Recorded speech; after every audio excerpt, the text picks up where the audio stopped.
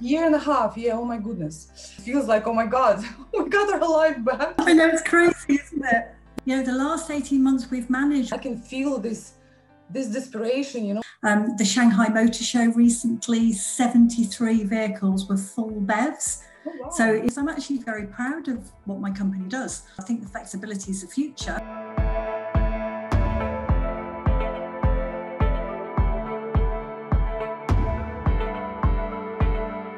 Margaret, where are you now? Are you in Slovakia? Yes, I'm in Bratislava. Yeah, yeah. How, how are things there? Yeah, it's good. It's beginning to open up a little bit here, so um, we can get into restaurants now, and and um, we can get out and about. So it's it's um, it's definitely getting a bit better, and the sun's shining. So what can you ask yeah. for? It feels like a blessing, yeah. When when you can actually walk around everywhere you like, it feels like oh my god, we've got our life back. Absolutely. I know it's crazy, it? Anyways, uh, when was the last time we saw each other? It was uh, at our last CEE Automotive Forum, right? Um, it was, yeah. That's oh, two years oh, ago. No, year and a half, yeah. Year and a half, yeah. Oh my goodness. So um, at the forum at 2019, we did an interview with you, and we were asking you about global trends, about what future brings to us and so on. And you were speaking about such trends as uh, ACES, which is uh, autonomous, That's right, yeah. Electrified and shared, if I'm not mistaken. And the CE is yeah, very absolutely. much about yeah, CE is very much about technology, innovation, engineering, and so on, and that we don't really know what future brings. Now, I have two questions for you.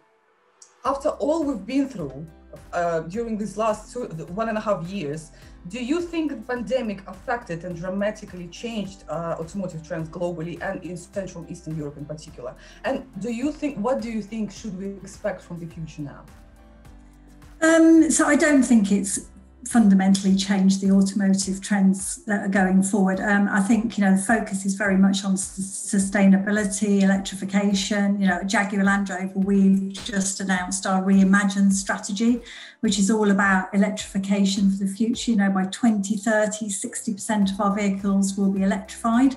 Um, the Shanghai Motor Show recently, 73 vehicles were full BEVs. Oh, wow. So it, clear that the you know the focus of the automotive industry is very very much in that electrification and certainly for CEE and Hungary in particular with that focus on battery technology you know I, would see that as um, absolutely being at the heart of where we're going in the future. Okay okay no this this is amazing. So while um, nobody was really really ready for for our new reality do you think there are any lessons learned? And do you think that we can actually somehow benefit from this COVID 19 crisis? Yeah, I, I actually think um, it brings out the best of some things. Um, so the thing I think that's amazing is, you know, the last conference we were talking about change a lot. Um, yeah. We just never imagined the change we were going to see. And if you think about it, in February last year, we were all in the offices, we were all working as normal. By the end of March, quite a lot of automotive factories were shut and all of us were working remotely. Yep. But we managed. You know, the last 18 months we've managed, we've managed to work remotely. We've got their factories back up and running, you know, working safely, making sure our people are absolutely at the core, um, sharing best practice. You know, we've very much, everybody that's found that, oh, this is works, this is how it, it goes well, have been very generous in sharing their best practice, even you know, with governments and so on and so forth. Um, and I think the other thing that we really shouldn't lose is about mental health. Yeah. We have got really, really focused on thinking about, because we can't see people every day in the normal way, is actually making sure people are okay, checking in, in with people. Um, we've just finished um, back in the UK seven weeks of what we call making kindness the norm. And we've been talking things like positivity, about checking in, uh, you know, exercise, health generally. So, and the flexibility that we've now got. And I really think that's something that, you know, two big things don't lose the flexibility, but also don't lose the resilience this has taught us. We can change, we can yeah. change dramatically and come out of it stronger. Absolutely. And I think, to be honest, uh, JLR in particular does an amazing job with, with people, with managing people and making sure that they're fine within all this craziness, right? Absolutely. Absolutely. People are at the heart of our business. Yeah, no, that, that that's really good. So uh, moving away a little bit from the from the pandemic, uh, I think, um, well, according to my opinion, uh, you're quite active socially. Uh, at least I see that you're active in social media. You attend events, uh, virtual maybe now and before, offline events. Uh, why do you think being socially active is an important feature for a manager in in automotive industry? And also, speaking about such trend as a business communities do you think this is something the industry in CEE really needs today and can benefit from? Okay, so um, I'm socially active, particularly on LinkedIn and things like that, for a couple of reasons. Um, firstly, in CEE, the um, profile of Jaguar Land Rover is not as high as it is, for example, in the UK. So, you know, we are building our brand. We're recruiting at the moment, both in Nitra and in Budapest. So it's really important that, you know, when we are trying to attract top talent, and there's plenty of top talent in this region, that people think about Jaguar Land Rover and want to come and work for us. So it's, it's really important from a talent retention and but also because I'm actually very proud of what my company does. So that's why I share stuff because I'm proud of what we do as a company, and it's it's stuff that I think you know, as you say, you talk about building community and sharing best practice. So either doing that virtually through platforms such as LinkedIn or conferences or face to face, it it helps us all. It helps us all develop and grow. Yeah, absolutely. And, and and what do you think about business communities? Do you think this is uh, really something that companies should look at at the moment and unite and then do something together.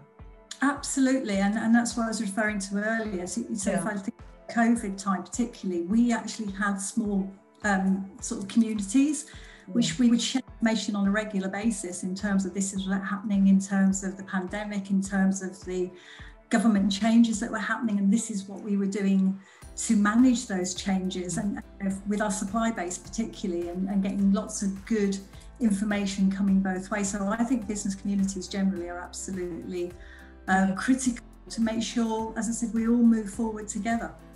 Yeah, yeah. And speaking of our CEE Automotive Forum that will hopefully take place in Budapest on uh, 20th, 21st of October now, uh, do you think um, such forum could be um, a great place for actually building such community, for for giving a good start for uniting people into communities? I, th- I think, I mean, hopefully, as you say, hopefully it will take place and hopefully it will be face to face because um, whilst I think remote is great as I said, we've shown we can do so much um, from remote forums, but actually talking to people, you know, finding out what their experience has been over the last 18 months. What have we learned from it? What can we take into the future? What do we really want to hang on to and make sure we don't lose? And what do we want to put behind us? I think it's, um, I think it's going to be a great opportunity to actually hopefully speak to some people and find out what everybody else is thinking. Yeah, yeah. Now I speak with many people, with our participants, you know, and speakers and delegates, and I can feel this this desperation, you know, this desire to actually finally meet, you know, in reality and and talk to each other like normal people, you know, face to face. do, do, you have any particular expectations from the forum if, if it goes on, hopefully 100%? Um, I, th- I, think it would be interesting again to hear other people's views of, of where the future's going, whether they see there's been a change in direction. Um, I'm hoping to talk about hybrid working and remote working. So, when we first spoke about what we should do, I was talking about remote working. Well, now we're moving into hybrid working, which brings another load of um, challenges with them. And um, again, as I said, I think the flexibility is the future but how's that going to work? What's that going to look like? How are we going to manage that? How are we going to manage our teams? How are we going to manage making sure we don't have a culture of presentism? Whereas if you're in the office, you get treated differently from the people that are not in the office. And how do we take advantage of the big talent pool that a remote working will give when you don't have to be in the office every day? So I'm really looking forward to having some of those conversations with people. Yeah, yeah, yeah, me too, absolutely. Well, thank you so much, Margaret. It was so lovely to see you. I hope to see you in, in real life, in normal life in October, just like everybody else. Uh, fingers crossed, yeah, October will be the month for us to meet.